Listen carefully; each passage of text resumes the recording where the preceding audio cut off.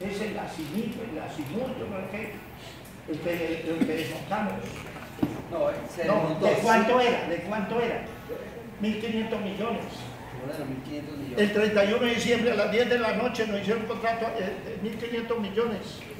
Se Tocó desmontarlo. Tenían tercerizado el cobro. Con. Microchip. La TIC. empresa Microchip también Microchip. está ahí haciendo cobros coactivos y represivos.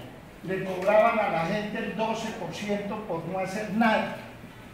¿Ya la desmontamos o no? Ya sabemos. Bueno, Señor alcalde. entonces yo les quiero decir que a mí me, me entregaron una bomba de atómica, allá también, no solamente Metrolínea, no solamente el acueducto, también el tránsito. Entonces, ¿usted qué hace de bombero todos los días?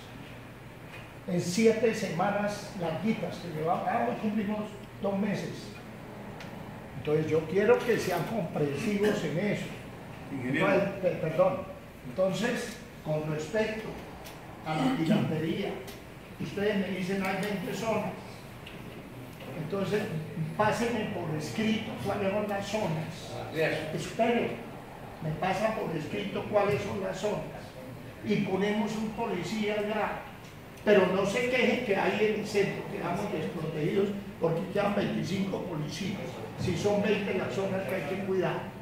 Entonces yo quiero que entiendan eso. Alcalde. La dirección de tránsito, lo que me dice Miller, no tiene 10 centavos.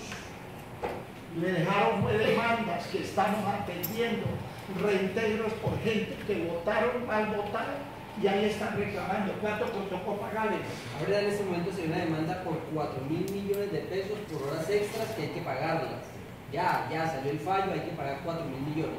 Hay que reintegrar 26 agentes de tránsito que desde, o sea, desde el año 2011 los habían sacado, los, pudiéndolos meter en el año 2014, no los metieron, ahora hay que reintegrarlos. Y también hay que pagar ese dinero. Pero, pero repercuta, Entonces, vamos a pero contra